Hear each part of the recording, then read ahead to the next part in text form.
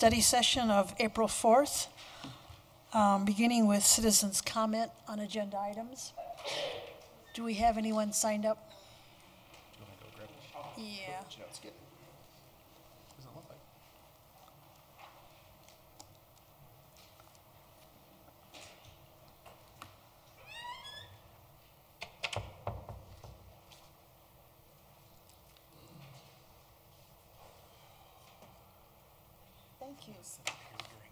Oh, boy. We have several. I'm going to go ahead and call your names. Bob mm, Brazel? Brazel. Like razzle, bazzle. Bob Razzle Dazzle, Brazel. Please do.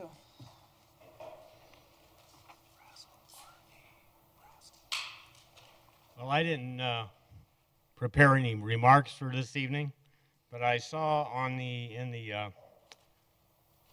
I think the Gazette that uh, your uh, 38th Avenue study thing, whatever you've been doing, trying to make everybody think they're important, conducting your your uh, cut and paste kindergarten classes for 100,000. That you've now got two proposals that you seem you want to go with on three lanes and all that. And, but uh, both of them, according to that, will require that the road be changed on the width, which was voted against by the public. So I certainly hope that if you decide to do this, you're going to have this voted on by the public and also how you're going to finance it. But if you're going to go against the public's wishes on a vote on the street width, then uh, and try and pull some fast, loose game here that uh, that we you know we had a whole new study and this is a whole new proposal. It looks the same to me as it did before. So you should be cautious about going against the public will because the next vote may be uh, removing some of you. Thank you. Thank you. Dina Swetlik? Could I ask that um, the people that come up to speak, if you could say your name and spell your last name and give your address? No, that's all right. Good evening. Dina Swetlik, 3715 Newland, S W E T L I K. I'm here this evening to show my support for transforming a short half mile stretch of 38th Avenue, or just over 10% of the four and three quarter mile avenue that traverses the heart of the city, into a vibrant main street. Just over 10% of one street. Looking more broadly, by my calculations, this half mile of Main Street comprises about 5% of all commercial corridors identified in the city's comprehensive plan. The percentage would be even lower if considering all existing commercial frontage. I've invested in Wheat Ridge by buying and maintaining private realm real estate, my home. I am asking the city to invest in its real estate, the public realm, or the public streets that it owns. This real estate owned by the city must be invested in to leverage a greater return for the community and to remain competitive on the Front Range. Streetscape improvements that result in increased activity or customers ultimately provide an increase in critical sales tax to the city. A former mayor of Wheat Ridge stated, in context of Wheat Ridge staying competitive, quote, to me, it's a matter of continually improving your city, continually changing, and I simply think that uh, what we're going to see in 20 years or 30 years or 50 years are going to be great changes in these cities because we have to progress with these changes or we can't make it, unquote. I agree that the city of Wheat Ridge needs to progress. Sometimes we need to be reminded of looking at the forest from the trees. It is time to invest in the public realm, the real estate of the city along 38th Avenue, to provide adequate multimodal access and safety, to create great places for people to gather, to remain competitive in Metro Denver, and ultimately to ensure that a true heart for the community exists for today and into the future. Thank you. And the quote was from Mayor, former Mayor Hank Stites uh, at a forum that he was in in 2010. Thank you. Ruth Baran- Baranowski. Baranowski. I think I'm going to ask him to sign up phonetically. My name is Ruth Baranowski, and I'm at 10430 West 47th Place.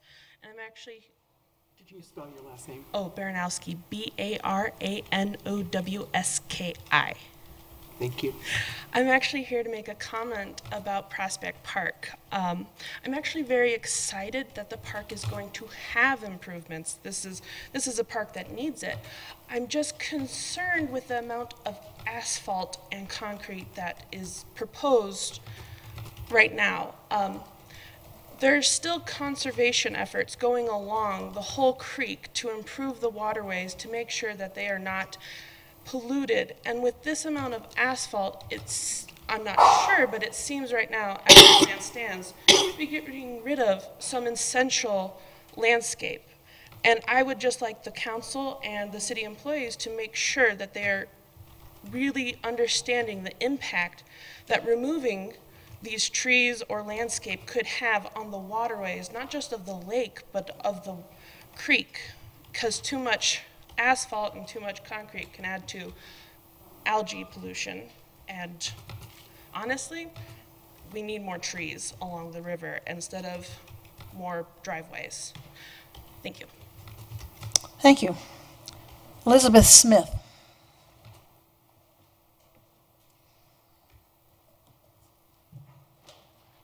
It's awful being short, I'll tell you. Um, my name is Elizabeth Smith. I live at 4255 Parfet Street. My husband and I also own property on Pierson that abuts the area that's going to be where the, uh, the football field is going to go. So we have some interest in this area. I would somewhat echo what the last speaker said, and that is that I think we do need to pay attention to the amount of asphalt that we're putting down. And if we are putting down asphalt, I understand, I'm gonna, what I'm concerned about specifically is the area, God, I don't have a pointer, but it's the area south and east of the new driveway that is going to provide improved access to the parking lot. Mouse, yay, okay. Okay, this is where there's going to be a new roadway. Probably needed, I can, I've been around here, I can understand that. My concern is about this area in here. Right now, it's being shown in what I think is bluegrass. Okay. I, don't know if it's bluegrass or not. Currently, it's native trees, some of them aren't, some of them are, are, uh, Siberian elms, but there's, it's more of a natural, wild-looking area. And I would certainly propose both as a, a water quality issue for buffering the water that's going to come off of here. Also a maintenance issue, that instead of bluegrass in this area between the bike path and the driveway, that we have native plants and shrubs in there. Also, this area along the bikeway needs some buffer visually, and even, and maybe for safety issues, bigger plantings like trees, native grass and shrubs, skunk bush, there's a lot of different things that can be planted in here. But I, I would propose against bluegrass in this area, again, for uh, aesthetics and a buffer between the cars coming in and out and the bike path, for better use of water.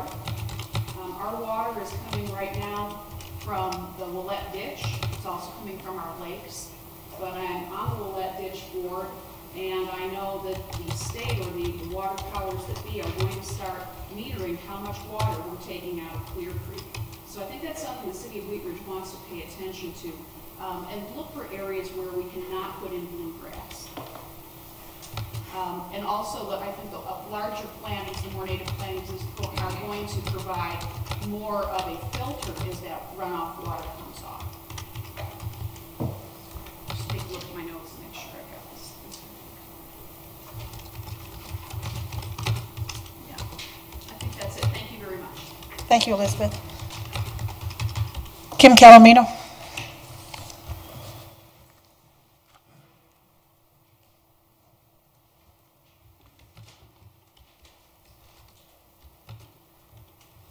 Good evening. Thank you for the opportunity to speak. Kim Calomino, 4070 Dover Street, here in Wheat Ridge. I encourage council to follow through and support the outcomes of Create Your 38 process. I encourage you to work together to find a way to move forward collaboratively and support of the strong voices that you've heard through this process. As you consider the very strong participation in the Create, pro- Create 38 process, please consider the fact that many more citizens than ever before have participated in this inclusive and well conducted process. We have a new and multi voiced process, the outcomes of which deserve to be respected by review and consideration by council, and finding a way to carry forward the visions that have been suggested to you by your citizens through their process and participation. I personally, as did the majority of participants in Create Your 38, support the vision of a three lane Main Street. I know that this is a divisive issue, but I encourage you to look at the statistics, the research, and the reasons that the citizens support a three lane option. We can have new businesses attracted. We can have a place for gathering. We can create an environment that encourages walking, biking, driving safely, and creates a vibrant environment. Uh, those are important things to our economy as well as to the quality of life for our citizens. And we also have to recognize it's time to invest in ourselves. It's time for the city and our citizens to demonstrate our leadership in valuing our community and investing in our community. It's going to require probably um, an initiative that I won't even venture what it might sound like, but it's time that we invest. It's time that council come together on how we might invest in ourselves. And I encourage you to work together to find the way to move forward in that direction. Thank you. Thank you. And finally, Ann Brinkman.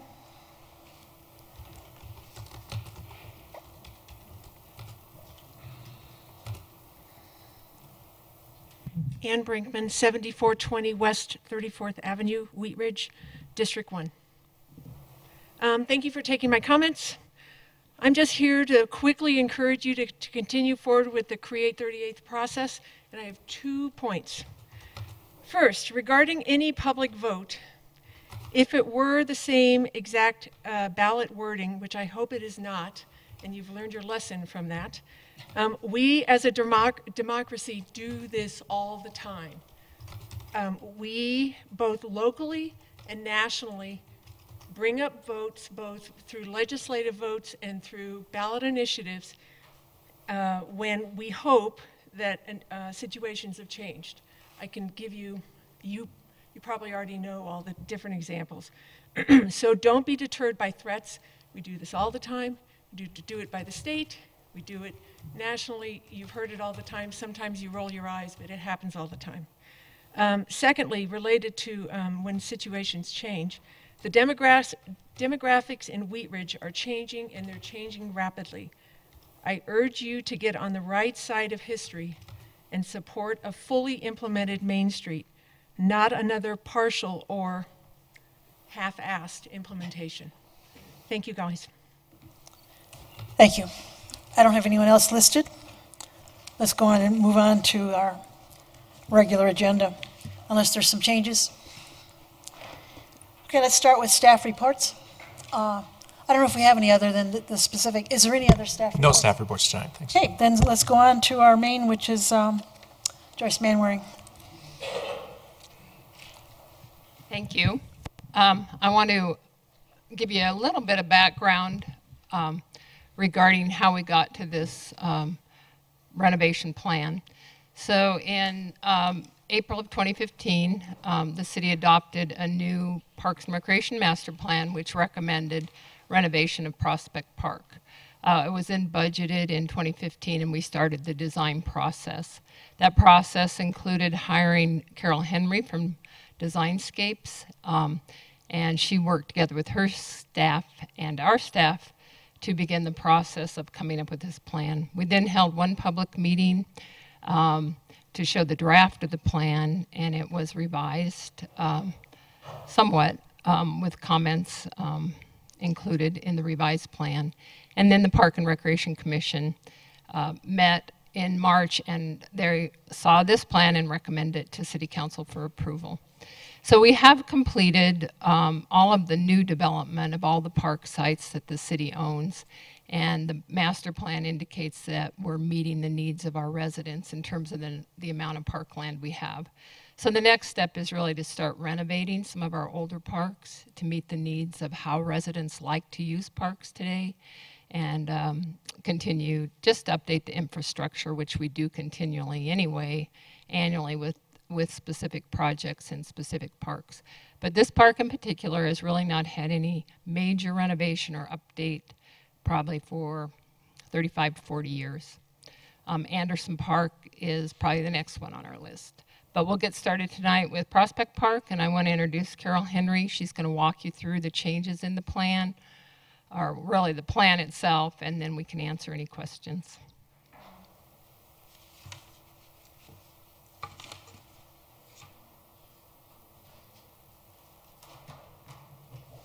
My name is Carol Henry, and I'm a principal at Design Concepts. Uh, Joyce has said, we have uh, worked with, with her staff and taken comments from public and the uh, Parks Commission on improvements to Prospect Park. Um, and I guess I'll address the, the area that has, has generated some public uh, conversation first, just to, to walk through that. Um, currently, the road into the South Pavilion uh, comes along the, the lake and uh, what we found was there, there are a number of uh, issues as you round the corner with the speed of vehicular traffic, uh, bicycles, and pedestrians. So uh, something that was suggested was, was adding a, a new en vehicular entry here, closing this off for, to only uh, bicycles, pedestrians, and fire access, uh, and then adding a, a separated trail down in this area. And, and I'm sorry for any confusion on the graphic. The, the area between the road and the, the uh, trail is meant as a, as a native plantings and something that would be very appropriate for the area. We're, we're not in any way saying that that should be bluegrass. That would be a, a, waste of uh, resources to, to make that bluegrass. So um, uh, we are, the, currently the uh, shelter that's down in that area is uh, is aging and in poor repair and is also right adjacent in basically into the parking lot. So we've taken the location from this area, which is next to the restroom, moved it more into this, this grassy area, taken it slightly away from the parking lot, and then tried to, to form a nicer area that has the shelter, playgrounds, uh, basketball, and uh, Horseshoes. Thank you. anyway, to, because right right now it's it's a bit uh, scattered along the way. So if you're if you're using the pavilion, um, it's it's not as much of a place to go as as simply a pavilion. So we we tried to create a, a nicer user space. Uh, we're suggesting adding a uh, a small bridge connection. There's some lovely play and grass area areas over here, but they're really a bit dangerous to get to trying to get through the parking lot. Um, we have also suggested reconfiguring this uh, greenway entry exit trailhead so that to make it a little bit safer as well. There are a number of areas that aren't very pedestrian friendly uh, and could be safer, and so that, that's a, a bit of what we, what we addressed. Uh, I think one of the things that really began the process was with the acquisition of the Lovejoy property. We have put in a new football field uh, on that area we have provided a slightly reconfigured trail and some buffer between the, the uh, playfield and the trail, as long as, as as well as some uh, vegetation.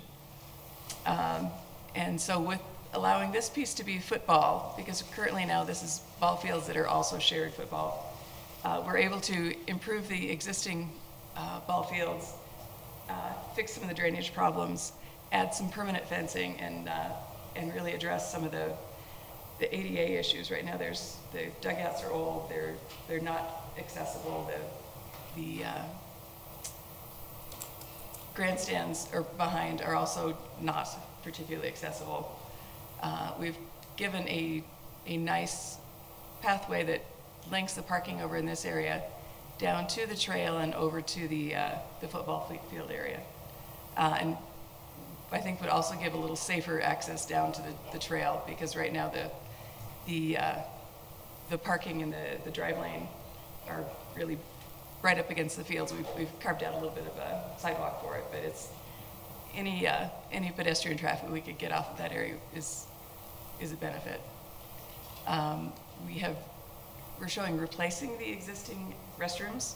Again, they're, they're aging and they're not accessible with, with new restrooms and new storage.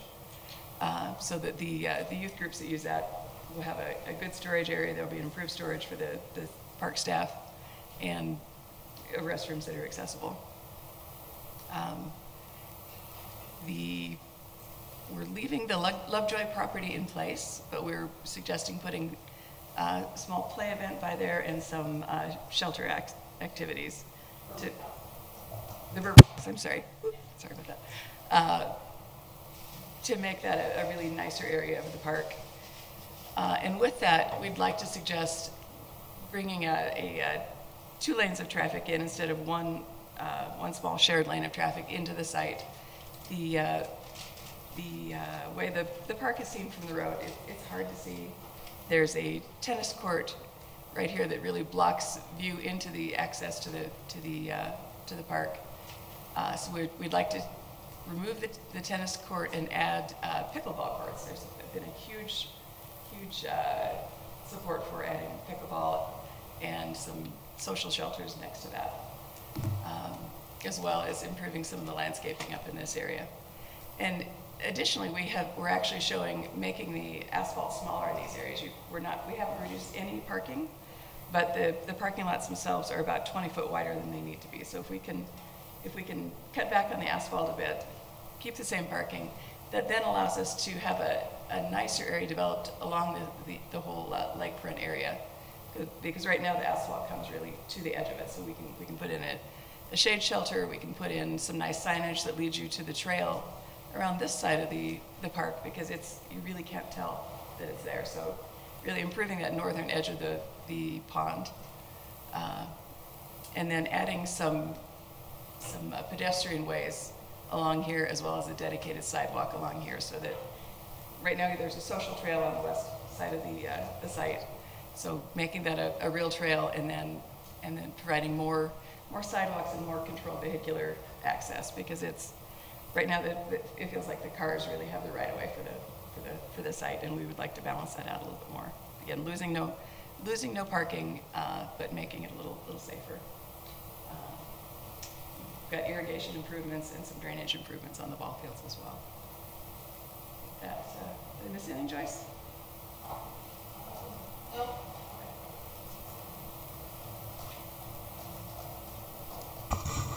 Is it time, can we ask some questions? Yeah. Um, Councilmember Fitzgerald. All right, do you have grandstands planned for the ball fields? Uh, We're currently leaving the, the- with the bleachers, essentially, as is, but we're, we're providing better paving around them and a little better uh, vehicular control. Uh, 'cause They're, they're a bit difficult to get to right now if you have any uh, uh, access issues, so. Mr. Matthews. Uh, two questions. One is just a comment. Um, I just did over there yesterday, and as 44th Avenue gets uh, busier and busier, which it's going to do, I noticed you've got some shrubbery there, and I don't know what it is, but it shows casting a shadow. But it would be awfully nice if you would maintain left-right sight distance. as you're trying to pull out onto 44th, because I felt cramped there yesterday, and with the traffic on 44th increasing, that's just going to get worse. So keep a little bit of that in mind. And I'm just curious, it had occurred to me also, do, who uses the football fields, and do we get any revenue off of any of the little leagues or whatever? Do they kind of help, help us maintain that? I just never thought of it before this came up. Uh, Wheat Ridge Midget Football, Little League parent organization, uses the football field.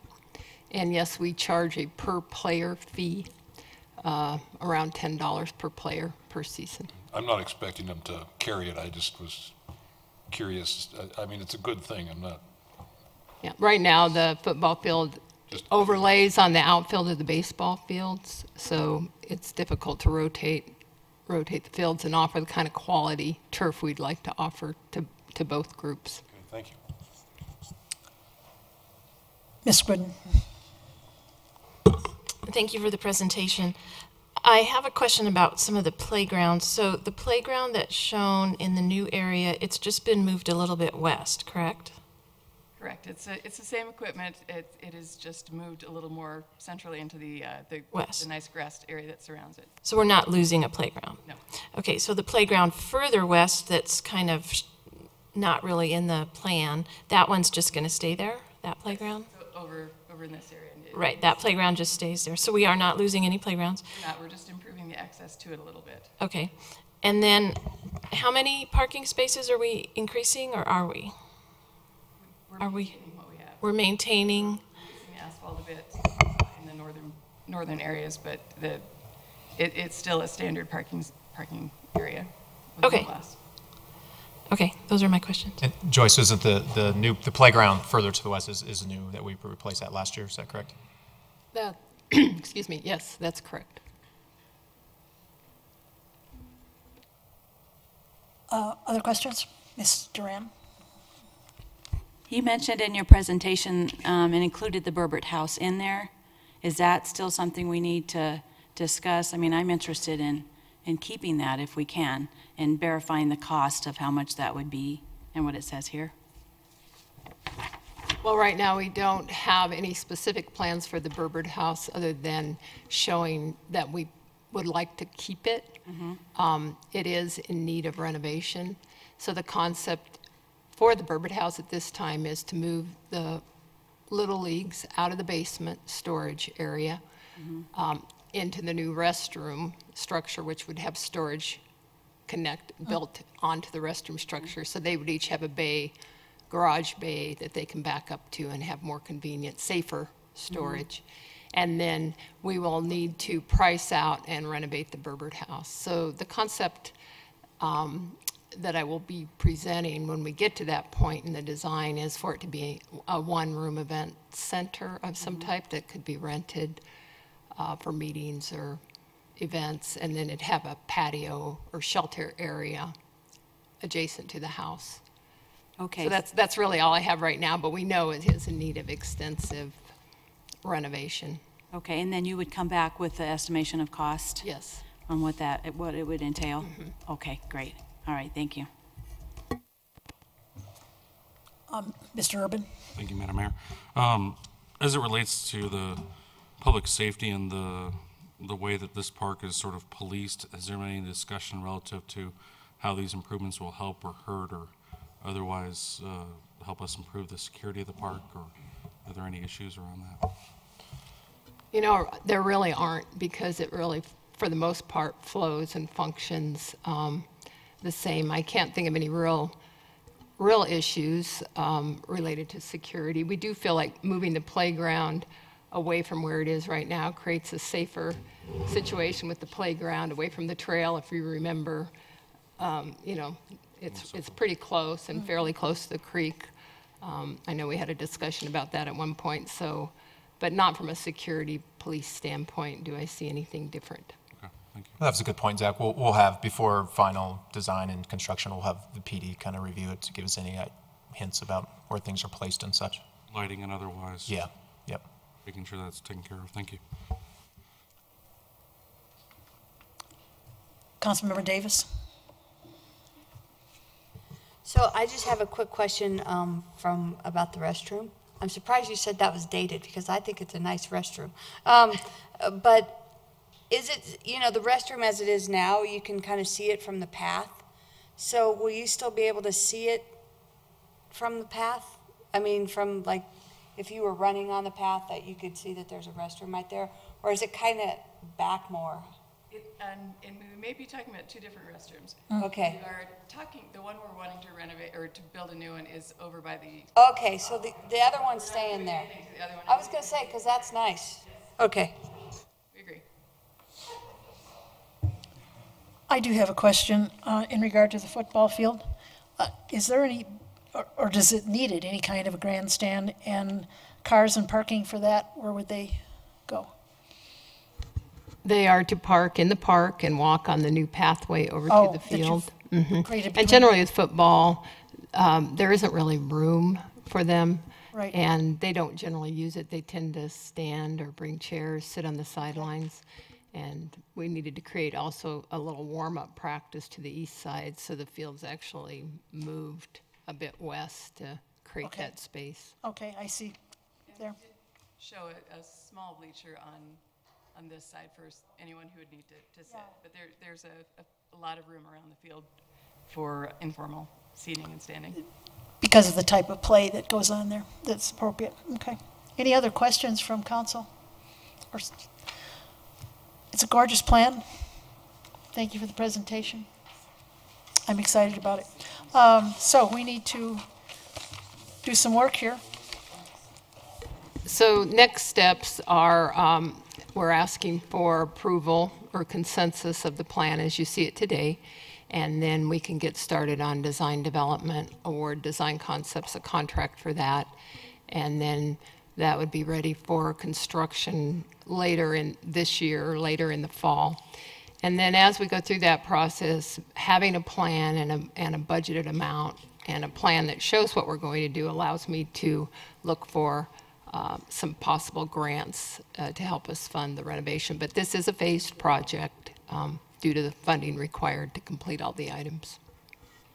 Larry has a question. I have a feeling it's about how are we going to pay for it? Nope. Nope, not yet. Come on, Larry, Um, get there. I'm, I'm a little curious. Uh, the uh, lake down to the west, where the herons and everybody nest out in that island, those trees look like they're about to fall down. And my question was, it's really a neat attraction, and and everyone likes to go, and I see guys out there with binoculars. Is there anything that we should in- or have included in this plan that might do something to help that nesting area and maintain it in perpetuity? Because, I mean, maybe the trees, you know, I can't tell because I'm 200 feet away from the island, but it just looks like we've got less trees than we, uh, what I remember we used to have, less nesting space. And it looks like they're getting ready to collapse. Now, maybe, if, has anyone looked at it? I'm sure the staff is aware of, um, of the condition of the trees, but I'll have to um, ask them if they are planning on I mean, I just- plant, in case one falls down, do they have one ready to go that's replacement? Or I, I can't, I'll have to get back to you I'd about it. hate to lose that nesting spot. I Yeah. just, that's a real neat place. I'll have to check and get you an answer. Joyce, maybe you can explain how, as we've built the other parks, how we've done it in increments, et cetera, so that for the people listening and well as ourselves, know how we do it. Okay, um, we use, um, Fund thirty-two, our, the city's attributable share of the Jefferson County Open Space Tax. Uh, we call it the Open Space Fund, and then any Conservation Trust Fund dollars that might be available to put towards a project. So that's where the funding comes from for park, uh, development or park redevelopment. And then there are grants available from Great Outdoors Colorado as well as Jefferson County Open Space. And so we will apply for those grants to um, help augment the funding that we have available. So for example, Discovery Park was built in two phases over three years of funding with several different grants plus our own funds. So it's just a matter of accumulating it, deciding which phases of the development work the best. Carol and her firm um, was our designer on Discovery Park, and they're very good at, at getting that phasing done. Um, and that's how we'll, we'll plan to fund it, but it will take several years. In fact, probably four to five years in order to get enough funding to complete the project. Thank you. And thank you, Carol, too. Um, We do need to have a, um, uh, eventually, we're going to have to approve the master plan, so I need a signal from you that, that a consent. I would like to suggest a consensus that we uh, uh, approve this plan. All in favor? Okay, thank you for a great presentation.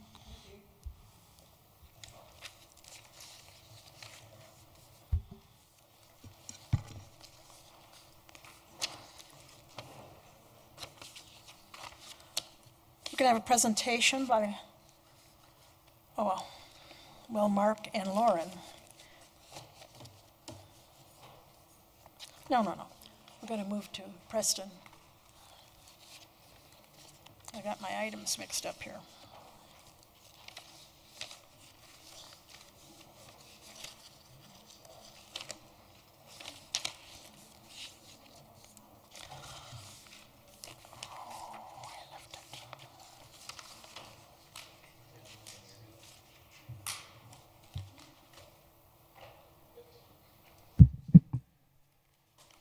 Okay, Mr. Gibson.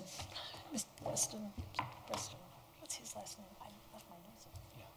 Gibson. Thank you, uh, Madam Mayor, members of the council. My name is Preston Gibson. I'm an area manager with Xcel Energy. My address is 5460 West 60th Avenue, Arvada. I appreciate your time this evening. I am, by the way, um, the liaison between the company and the community and vice versa. If you have questions, issues, or concerns, or want to know more about our programs and so on, I'm the connection to the company, and we also occasionally come out and uh, bring information to you on new initiatives, new programs, and so on and so forth. So that's what I'm here doing tonight. I have a quick 11 slide uh, PowerPoint presentation on an initiative that we're calling as a company Our Energy Future. And I'm going to follow that up with some quick information on um, the number of customers that we have um, in Wheat Ridge, as well as some statistical information on some sales and use taxes we, we, we pay here, as well as franchise fees, so on and so forth. I'm also going to address some of the um, recent improvements that we've done um, in the city to improve reliability. So hopefully you'll find that of, uh, of interest. This particular program is a new, new initiative of our company. Um, essentially, you know, over the last um, number of years, we've reduced um, our carbon emissions here. In fact, a lot of times I think we, um, as, as, as a citizen or as citizenry, think about you know, how can we reduce carbon emissions. We as a company have actually done that. We've reduced, if you compare 2005 carbon emissions to the emissions that we have today, they've been reduced by about 25 percent. Um, and uh, we expect that to be in the mid 30s by the time we get 30% uh, renewables on our system by 2020. Currently, we have about 22% renewables, and we have been uh, replacing, uh, in this region, we've been replacing our coal-fired generation, power generation with natural gas, and of course then adding renewables in terms mostly of wind, uh, some solar. But if you look at the Cherokee power plant, which is about 64th in York, if you know that big, the big stacks that are to the east of uh, the freeway there, we have um, um, uh, eliminated three of the four um, coal-fired generation facilities. Uh, we put in over 500 million in the last couple years in terms of building a new gas turbine uh, to, to gener generate electricity. We've only got one coal-fired um, facility left there, and it's going to be uh, refueled from coal to natural gas next year. So we've been doing things like that as well as adding lots of wind tower systems. So I think in many ways, as a company, we're saying, you know, what's next? Where do we go from here? We do have a very good environmental record, including being number one in wind, number one wind energy utility in the entire country for the last 11 years uh, running. We're one of the top 10 in terms of solar capacity as well. So we have been a leader and continue to add, you know, wind to our system. In fact, um, on October 2nd last year, you might find it interesting that more than half of the electricity that was generated and used that entire day uh, was actually generated by wind, which is, uh, I think we've actually set some national records in terms of, of, of that. So again, the question is, is uh, essentially where do we go, where do we go from here? Um, so I think that what I'd like to impart is that we want to create options for our customers. Customer empowerment is what we'd like to say is key, what's very, very important to us. Um, and creating new ways that customers can participate in new technology, new technological options, whether they be smart meters or um, uh, you know, purchasing um, solar uh, through um, Xcel Energy, solar energy, um, battery storage for solar energy, and so on and so forth. We've got a number of programs how we're moving forward with options and ways to uh, really move us into the uh, what I'd say the 21st century and more interactive options uh, with an efficient grid system. So let's move on to uh, the next uh, next slide. And we like to say that uh, you know there's three key points there: powering technology, powering the economy, empowering customer uh, choices, I just mentioned. Powering the ec- economy is very important, of course, with um, many companies, many individuals, many uh, customers really wanting more options for renewable energy. And um, I think that can certainly help with business retention and uh, business um, attraction uh, that I know Steve Art is so good at doing here in this, in this city.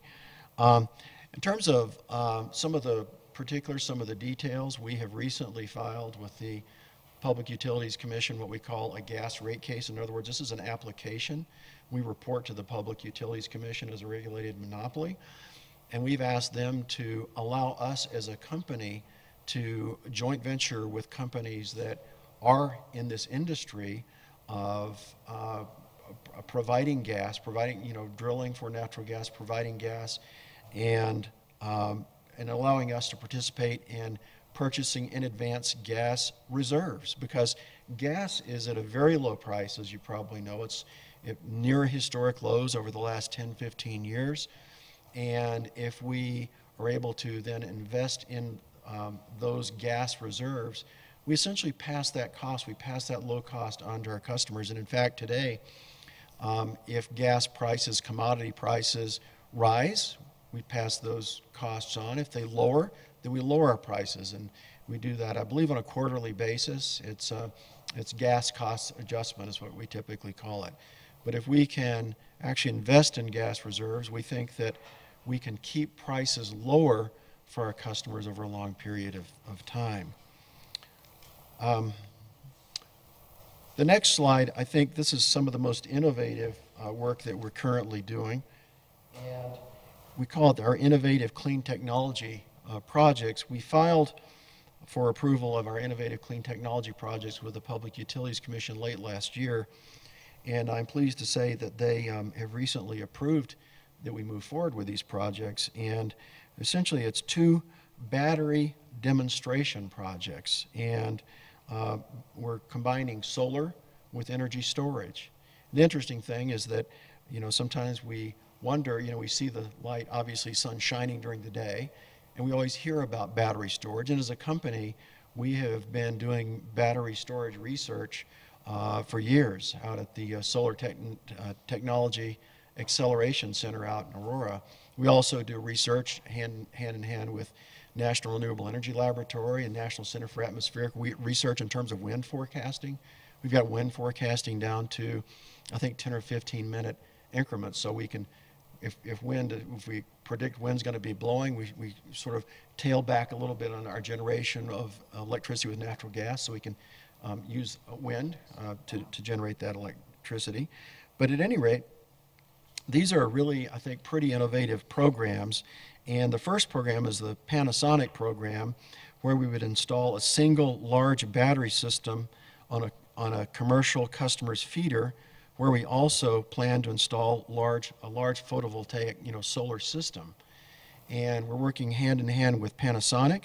It's, they're building a new large uh, uh, building out uh, by DIA, and it's going to be in partnership with DIA, the land developer LC Fulenwider, Widener, no, full and wider, excuse me, and the City and County of Denver. So it's a, it's a partnership where we're actually doing this, and it'll enable us to um, uh, also build a microgrid, sort of a microgrid electric system, and uh, when the solar, the sun is shining, we'll be able to, if it's, the energy's not completely used, we'll be able to store it, and then, then it can be used later when it's, uh, when it's needed, and the, the sun may not be shining. We also have a project out in Stapleton where we'd install a series of batteries um, on a feeder that um, has a lot of solar currently on it. And I, it, it, we've, we've for, for uh, until you know, in the last 10 years, we've mostly sent electricity one way on a feeder. It comes from our power generation facilities and goes out to our customers. Now our customers are sending it back, which is, which is fine, but sometimes we can't accept all of that energy, all those electrons on the line. So we need a way to store them. So we, if we can store them with batteries and then release those electrons when they're needed, that will um, help uh, balance our system a lot better than it, than it currently is today. So we're looking at those kinds of projects. We're looking at a modern grid, as I mentioned.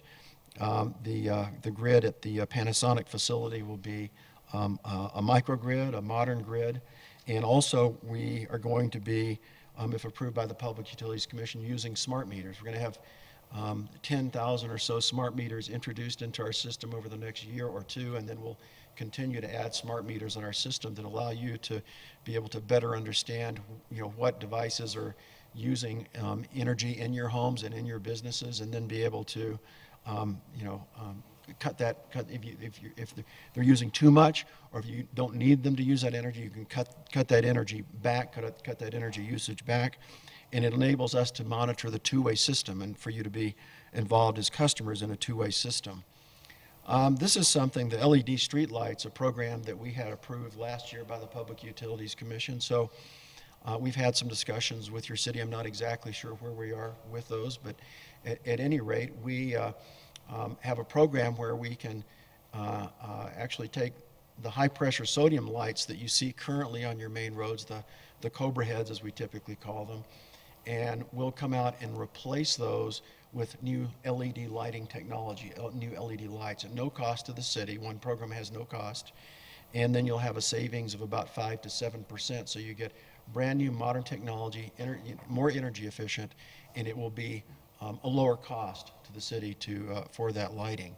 And there's another program where you'd actually pay for the, the uh, fixtures and the installation of the fixtures, and you'd save more over time.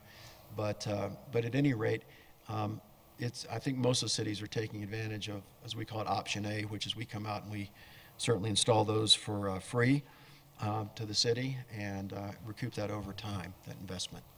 And Preston, just to uh, give council an update on that, we did um, move forward with option A. I think we gave council an update and a manager's update, and um, I think you've already got it scheduled for a couple months out. Um, we got an email a while back, so several more, I think several months, I think they'll be starting in Wheat Ridge, so. I think that's ter- terrific because you're uh, one of the first cities. I mean, we do have a number of cities, but being one of the first cities to come online and I- express that means that you'll get your lights changed more quickly. The cities that came on, come online later, it may be three years or more when they get their lights changed. So that's that's great news. Uh, the phase two rate case is uh, has been uh, submitted, and essentially this allows us for, to um, use more interactive technology, as I mentioned a moment ago. Um, it'll break down uh, the prices of what you pay as a customer so you can more transparently see the cost you're paying for energy, the cost you're paying for the grid, the cost you're paying for demand side management, all the different costs on your bill so be, it'll be very transparent. We also um, will have costs in there for re relocating and removing street lights. Uh, for streetlight banner attachments, we've had an agreement situation in the past. I know you've entered into an agreement with us um, if this is approved by the Public Utilities Commission, there's going to be no more agreements allowed. There's going to be no more liability insurance allowed. It's going to be much more, much, much simpler than it has been. This is one of the programs that I, th I think is very interesting. We are proposing a Solar Connect program where we'd actually build, and we are currently building a solar on our system, but we dedicate a 50 megawatt, which is a pretty large uh, uh, power facility. Um, and uh, then if you as a customer said, look, I, I don't I, you know, I don't want solar panels on my roof. I've got big trees. I don't want to cut them down. There, you know, I can't. I'm leasing a home. If it's a, if a business says, look, you know, our bedrock values are renewable energy, but I'm just leasing a building or I can't put the panels on. How can I get there? Well, this will be a way that they can get there, that you can get there. We don't have all the details worked out, but it would cost a little increment more, and then you would be able to say, because it would be true, that you're getting all of your energy generated by solar panels. Um, I think that's going to be a very popular program if that's approved by the Public Utilities Commission. We're not doing away with our existing programs. We're continuing to fund the existing programs if customers do want panels on their rooftops. So, at any rate, I think that uh, that could also certainly be used to um, attract business. So, in conclusion, you know, I think you can see that we've got a comprehensive plan to move forward to uh, what we call our energy future. Um, I think this is uh, really the next phase of customer empowerment, bringing more renewables, more options onto our system, and uh, we're very pleased to um, have the opportunity to uh, to tell you about it. Let me um, hand out um, some quick information that I wanted to go over that's more specific just to Wheat Ridge. I have some handouts here.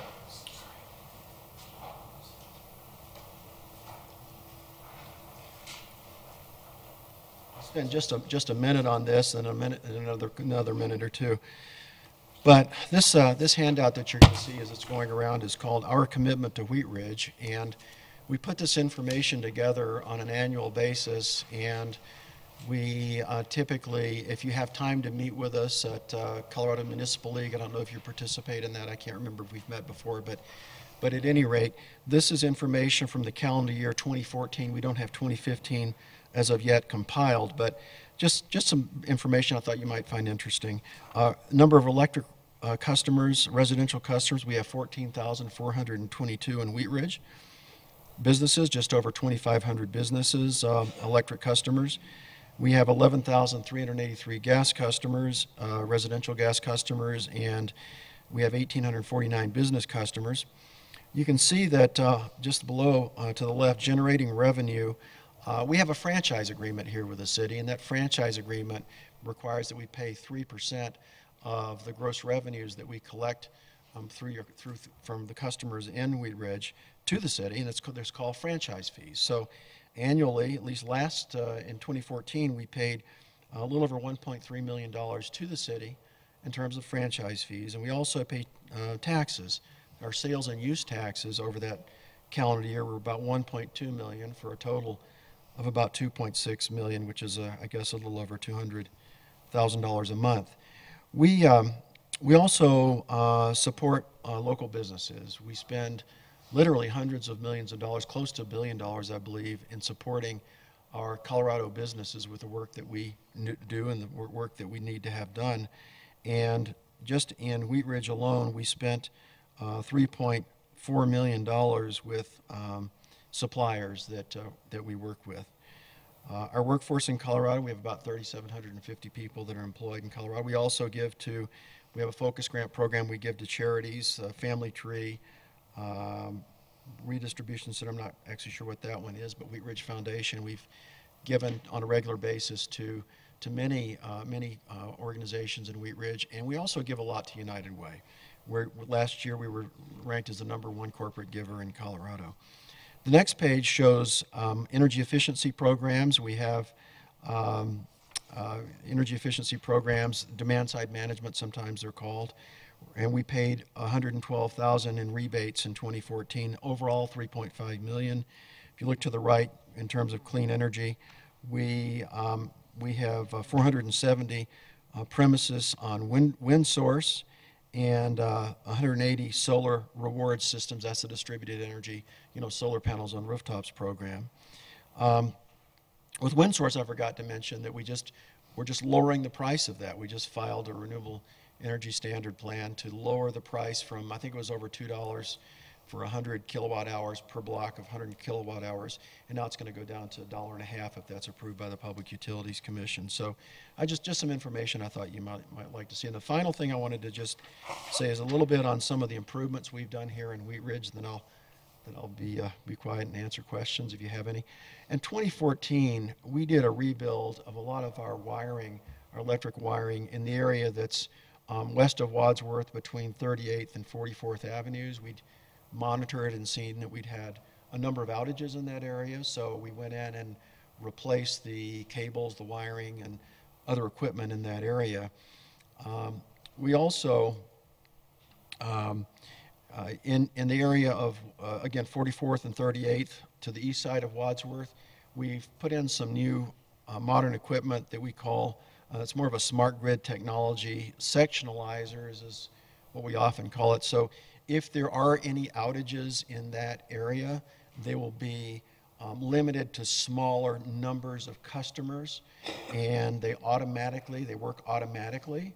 And then within typically, most typically an outage, we have our teams that go out and respond to those. Typically within an hour or so, hour to two hours, outages are repaired, but this will limit the number of customers that are impacted on outages.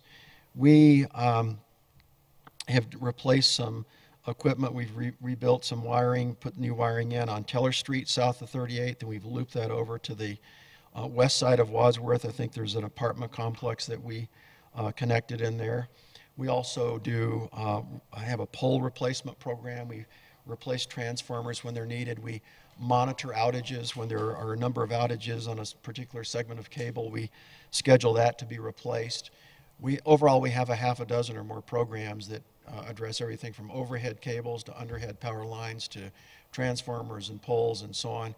And I uh, just wanted to say, I, I know you probably experienced some outages with our snowstorm that we had. I can't remember when that was. When was that? Was that a week ago? Last Wednesday? Just it seems eh, how quickly we forget how long ago that was. But I, I can tell you that we had um, we had about 900 linemen here. We had them coming in from other states as far away as Texas. We couldn't actually, we couldn't even get some of them here because the roads were closed. We had the freeways that were closed. They're, they're sitting there waiting for the freeways to open, but we had all of our employees that could do the work, all the contractors that could do the work. Everybody, we had mutual aids, we had other utilities helping that weren't experiencing the issue. But we, we got about 90% of our customers up in 24 hours, and uh, close, you know, close to 100%, maybe 98% within 48 hours. And we had a lot of just single customer outages that we, we had to go back and take care of. But it was a, it was a brutal storm with the winds ahead of the snow and the wet, heavy snow. It was, uh, it, we had over 300,000. That was the most amount of customers we've had out just because of the uh, uh, unique atmospheric conditions. But, but at any rate, we, we worked really hard to, uh, to get, get those customers back up, and I hope that you didn't experience uh, too many outages here. So anyway, I think I've rambled long enough, so I'll be available for any questions. That was very interesting. Thank you very much. Do we have some questions? Sounds like you were too complete. Mr. Matthews? Nope. A gazillion questions, but this isn't the venue. I could, I could ask him questions until tomorrow morning. But we throw both Thank of you you very out. much. I appreciate the information. Thank you. Yes, thank you very much. Uh, I, I think um, I'm excited about that you do look further and further into the future and, and prepare for it, and um, that's, that's what we want. That's great. And Thank you for that. We actually, believe it or not, look 30 years in advance in terms of forecasting customer Wow. demand and build all our programs 30 around a 30-year program. So, okay. Thank you again for visiting us.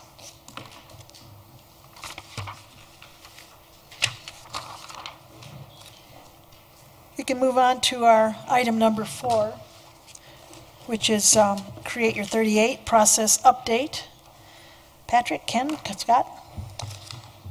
Yeah, we got, we actually have the, the whole team here in case there's any questions, but I think Mark Westberg has a um, present, short presentation. Um, he's going to give, just give an update on um, the process to date and um, what final steps are in place to, uh, before we bring it back to council for some um, final decision making. So with that, we'll um, start with Mark.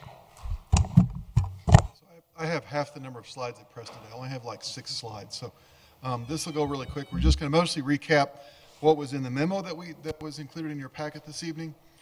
Um, so just a recap of meetings one and 1.5. Uh, meeting one was so successful we had to schedule 1.5, and then we also had an online survey after that. And and all of that together, we had almost a thousand people involved in in voting and, and involved in just being there. We had around a little over 300 people at both meetings, and then we had nearly 700 people online that that uh, responded back on that survey. Uh, one of the questions we asked them was, what are the core values of the participants? And, and both the online and the, the folks at the meetings were very consistent in that regard. Safety was number one, and economic success was number two of the people there. They were really concerned about safety, and they were really concerned about 38th Avenue being successful economically. So we thought those were both really good things. We had 33 participant-generated designs. So the, the, the folks divided up in tables, and, and they generated designs. 73% of all the designs that were presented were, had three lanes. Um, we had one design with two lanes, and then, and then I think eight designs with four lanes. Um, when we ranked those based on the, the, the, preferences that people had for those, two thirds of those designs either had the two or the three lanes. The, the, the two lane design scored number 10, and then, and then the, the rest of those top 21 or so designs were all, were all three lane designs. And only, only the three lanes designs overall had greater than 50% support. So what we took from that first ser series of meetings was that the preference of the participants was to move forward with three lanes because of that reason. So we, we took that information and charged into meeting two, and we had a little over 100 people, I think maybe 120 people at that meeting, and we, we built actually a life-size model. It wasn't a scaled-down version, it was a life-size model of the street on the wall behind the, the speaker. Um, and on that, we were mostly talking about everything but the lanes of traffic. It was everything else, the, the sidewalks, the amenity zones, the bike lanes, and the parking. Those were all the things that were showing up in the, the designs that the participants had. The sidewalks, what we got, what we landed on was 66% of the people, so two thirds of the people that were there said they wanted eight foot wide sidewalks, and we had 12% that actually wanted wider than that, and then the rest was, was divided among the, the other widths we had. The amenity zones, we had 59% preferred four feet wide, and then 31% preferred wider. So we had almost 90% of the participants wanted amenity zones that were at least four feet wide. The bike lanes, um, even though they scored fairly well early in that, that evening process, as we worked our way through the evening, the final vote on those was 64% of the people said they didn't want bike lanes on the corridor in preference of, of the other things that were available. And then um, parking was 68% preferred to have parking where it was possible. So as the corridor gets wider in places and different things happen, if we can squeeze some parking in while still keeping the sidewalks and maze zones at those minimums, then people were interested in adding some of that parking in there. We talked about implementation then, mostly whether we reconstruct the road or retrofit the road or get right away and those kind of things. And 71% of the people preferred the two options that stayed within the existing right of way, basically not going outside the existing right of way. Uh, but there was no consensus between that reconstruct and retrofit at that meeting. The score was 36 and 35, so it was pretty much a split vote on that. So we, we decided to spend meeting three mostly talking about that option. We had about 50 people, a little over 50 people at that meeting. And in talking with the consultant, it's pretty typical that as you go through this process, the meeting size tends to shrink. So they weren't really surprised that that, that happened in this case. The reconstruct package, package, which was priced out at about around seven and a half to $10 million, had the eight foot sidewalks and the four foot amenity zones. And then we also presented the retrofit package, which was between four and a half and, and just under $7 million, um, would keep the existing five foot sidewalks and would add amenity zones in there in the space that's available. And so um, often you end up with wider amenity zones. So again, this wasn't quite in line with what the, the came out of the first series of meetings, which was eight foot sidewalks and four foot amenity zones. We wanted to offer this up as a, a lower cost option. Um, and then, and then of course, Patrick talked quite a bit about potential financing options and things like that. When all was said and done, of, of those 50 or so people that, that were there, about 70% of them preferred the reconstruct package. I think they just decided that that they just would rather rebuild the entire street rather than, than try to try to just do a retrofit kind of option. So that was really the outcome of meeting number three is where we, we landed on that. And so our next steps, we're having an open house on April 27th. Um, we're advertising that in all of our, our normal ways, um, social media and online and, and those kind of things and, and talking about it here tonight. We also announced that at meeting number three. We announced that we were going to have this open house on April 27th. We're not going to have any presentations. It's going to be really just we're going to have sort of sections of the ballroom set up with, with a summary of the, what happened at meeting one, what happened at meeting two, what happened at meeting three, really what the process was, what the results were, uh, a lot of the same information that was in the memo that we, we sent to you to this evening. And then we're going to present that participant preferred design, that eight foot sidewalk, four foot amenity zone, full reconstruction of the street. We'll have that on tables uh, that, that will we'll have the whole corridor laid out on what things will sort of look like, and then we'll have some, some different images and stuff to try to really get people a feel for, what, for what's there. And we're going to have the opportunity for people to provide comments. We'll do the, the, the really low-tech version of sticky notes, where people can write their comments on a sticky note and stick it right on the plan, right where they are interested in having that done. We have found that to be really successful at meetings. We just go back later and take pictures of everything with our phones and and a great way of recording what people's comments are. Just in case people aren't comfortable sticking a note down where other people are going to see them doing it, we will have sort of a much more anonymous comment box that people can fill things out and throw it in there. So if, if people want to be anonymous with their comments, they can be.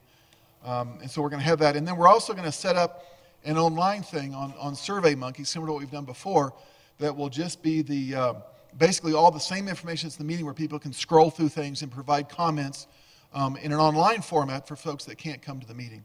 So we're trying to allow, again, sort of like we did with that first round of stuff, another chance for just absolutely everyone that wants to chime in, give them all a chance to chime in on, on where we landed in the process and, and where things are. So that's our plan for the April 27th meeting. And then our hope is once we get all that information in, we'll come back to you on May 16th or at some later date if we decide we need a little bit more time. But right now we're, we're looking at May 16th to present the various options of how this could be implemented um, based on, again, all the comments that come in from, from, the, from this last open house meeting that we're having. And then our, our big thing will be then to request direction on where do we go from here.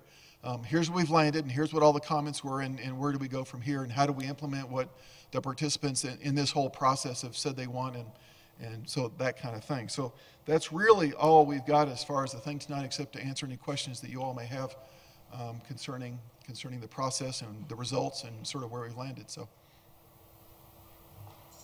quickest PowerPoint I've ever done. That that was, that was, he's, he's lightning fast, really, yeah. Council, it's your turn. Do you have any questions? Mr. Duran? Can I uh, just reconfirm, I I had asked Patrick, that encompasses from Upham to Marshall, not the whole stretch of Wadsworth to Harlan, correct? We had, we had started the whole process actually for Wadsworth to Sheridan because we've Mhm. got three lanes striped through the whole process. So, so once sort of after meeting one, then we sort of started focusing in on Wadsworth to Harlan um, as where we're looking at things. And the, the, the plans that the consultants put together actually do cover from Wadsworth to Harlan. The costs that were shared at, at meeting number three were from Wadsworth to Harlan. Now, certainly as part of our ongoing implementation, we can bite off pieces and parts of this. We don't have to do the entire thing all at once.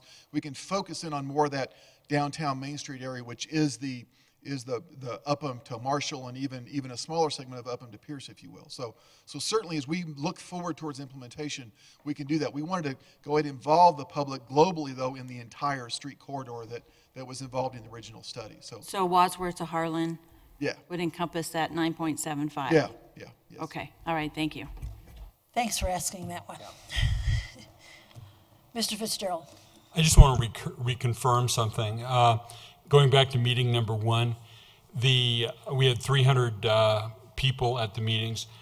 Um, my memory is that the survey ruled out duplication. Isn't that correct? That uh, people could not vote twice, and if they attended the meeting, they could not vote online. Isn't that true? Yeah, so we actually gave the opportunity for the folks at meeting one to vote on meeting two designs. During meeting two, we went ahead and voted on all the meeting one designs, so that was a fairly long session with them. And then with the online stuff, we asked for names and addresses, and I think phone numbers and email addresses or something. And then, and then our staff, mostly um, our, our PIO folks and, and some of the folks in administrative services, went through all that stuff for that came in on SurveyMonkey and, and made sure that there were no duplications. Now, if someone could have lied, certainly, and, and said they were somebody else, but, but we made a really conscious effort of trying to make sure that we were getting, you know, one person, one vote kind of a situation so that people couldn't double up on things. Other, Mr. Urban? Thank you. Um, as this uh, particular process was built on the Wadsworth PEL process, what types of steps were taken to engage the business owners relative to these particular plans, or how, how was that process engaged as it was done during the PEL? So from what happened at the, when the, the consultant was first introduced at the town hall meeting until January, um, city staff was not really involved at all in this process. It was it's all the consultant going out to meet with business owners and um, different different kind of groups and different organizations to try to get a pulse on it. I know that that we we provided, you know, that make sure you talk to all of these people. They've been very engaged in the process up to this point, so we made sure that they went out and met with those folks that they could. Um, I don't know that Kristen went walking down the street and knocked on all the doors, but we got pretty close to that kind of level of involvement. And certainly, when we have done mailings and stuff, when we did the connections mailing uh, or the mailing with the postcards, inviting folks to the meeting, we did that using our connections address list, which is everybody in town. So um, we certainly tried to involve all those folks as much as we possibly could. Thank you. Any other questions? Mr. Mathews? I, I gotta, I gotta say this, and I'll try and make it short. Um, over 300 and over the 30th Avenue, I've had a raft of emails come in uh, for people trying to be anti-300 and pro-Creature 38. And I just have a couple of sticking points, and I just want to make, and I've returned emails to everyone that's written to me. But just for all the people out there, I want to know exactly where I stand and why I stand that way. I've heard a lot of funky civics notions that I sort of missed when I was in high school. And one was that if only 40% of the people vote for a citizen initiative, then only 40% of the council have, you know, 40% of the council doesn't have to support it. And I'm not sure when that became the rule of the land. I don't understand that. Um, we are a nation of laws in a democratic process that says majority rules, and we vote on something, be it by one vote or a thousand votes, by 10% or 50%, majority rules. And once that majority has voted, then that's the rule of the land and the will of 100% of the people. Uh, and that's where I have, that's where I stand. And, I'm, and I've heard another, another uh, theory that the 2B vote doesn't count because it was back in November of 20, you know, a year and a half ago. And I looked and I researched and I did my best to find out where there was an expiration date on that vote or a use by date. And I can't find one. So personally, I'm not for or against three or four lanes, but I am absolutely for a majority vote of the people. And I cannot support anything here unless we move forward with a citizen initiative or a referendum to put this back out to the people. Because 58% said they did not want to narrow the street, and here we are with options to narrow the street. And I keep hearing, well, that doesn't, their, their vote doesn't count because that was back in 2014 or 2015 or wherever. There is no expiration date. So if we put this on the street and put it out to a vote of all the people, not 300 people, excuse me, Tim, not, not 800 people, but all 17 or 18 or 20,000 people that voted on 2B, and a majority says, this is what we want to do, I'll, I'll work overtime to make it happen. But in the meantime, that's my job, is to bring the will of the majority of the people into this room. And they voted no on narrowing the street in 2B. And that's my position. And I've responded that way to everybody that's emailed me, and I'll be willing to debate it and discuss it forever. But last time I checked, help, help me out here. If there's an expiration date on that vote, I'd be happy to find it. Thank you. Actually, since it's in the charter, I think no matter what, we, th- th- all the steps have to be followed. So it's really, it, that should be handled. Mr. N. What I'd like to add to Larry's comments is, I support putting this to the vote of the city, all our citizens to vote on it, but not just a vote. What I'd like to make sure that's in there is the cost, how we're going to fund it, the width determined by the citizens, and the design. Is, is it Plan A, just whatever the design's going to be, so that it's all specified, so that there aren't any questions, aren't any issues after Election Day. Did folks understand? Did they not? And whatever the will of the people, you know, is determined on November 5th or whatever date that is, that's how we go, and that's what I'm willing to do. But I really think we're, we're at a place now where all of us feel, you know what, let's do it right this time. Let's reach out, let's let the community decide, the majority decide what they want. And whatever the will is, is, is what it'll be. And I think we just all just kind of want to put this to rest and, and get it done. So that's what I would ask support of in a ballot question. And uh, Did I have somebody else? Go ahead, Mr. Urban. Um, I I would just like to make sure that, uh, a- as it sort of, as this, as we're looking at this question on the ballot, that it be sort of segregated to this specific issue that, uh, as it relates to any kind of sales tax increase. I, I don't want to see a situation where we're sort of lumping this particular project with something else and making it some kind of package deal. I think it really needs to sort of stand on its own legs, and if it is brought to a vote that is sort of a, a either a yay or a nay, and, and so that we have some very clear direction, but it be segregated to this specific issue without any sort of add-ons or a uh, at the state legislature, they might call that a sort of a Christmas tree where we sort of add on different projects. We're going to do it with this, this, and this. I want to make sure that it's very specific to this given issue so we don't sort of have sort of mission creep, so to speak, that, that people know exactly what they're voting on. Other comments or questions? No? Okay, Thanks, Mark. Thank you. Thanks, Steph. You can go home and watch the basketball game. Surely you, You're gonna get us out, out of here early, Mayor, so we can go home and watch the basketball game? um, well, see. I gotta find something else here to keep you here for a while. Okay.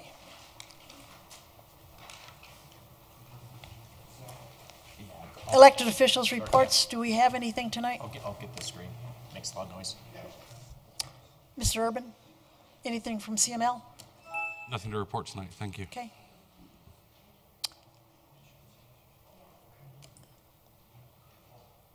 I'll go to Mr. Fitzgerald. Nothing to report.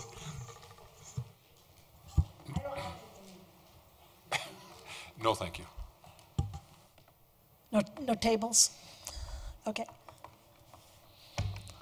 You've been awfully quiet tonight. She's over there. You, your voice work? Genevieve's hogging the microphone. Okay. Okay. And Miss, Ms. Duran? I do have something, and I'll pass this around. The Grange is going to have an event on, let's see here. It is on April 21st, and it's going to be before Mother's Day. They're kind of uh, working on this together with Alpine Nursery. So let me pass these around. If you could RSVP, all the information's here, but it, the event is on April 21st from 6:30 to 8 o'clock, and it is family orient- orientated, so please bring uh, your kids and RSVP by, let's see here, I think it's April 19th. And you can RSVP to dom, D-O-M, dot E, dot Breton, B-R-E-T-O-N, at gmail dot com. And let's just start this way. Let me grab one for me to give to Janelle. There you go. One other comment too, separate from that. Can I do two? Okay, thanks. On Wednesday, May 25th, uh, the Wheat Ridge Fire Department is going to have a town hall meeting. It's going to be at the Wheat Ridge Grange, starting at 6:30, just to kind of answer questions regarding uh, the merge with West Metro and any thoughts or concerns you have. Thank you, I'm done. Well, I might as well ask my city clerk there. He's rattling his fingers. I think he's ready to get out of here. Oh, no, I'm, I'm here for the evening. I don't have anything speci- specific. Um, So I believe we can call it, call it closed.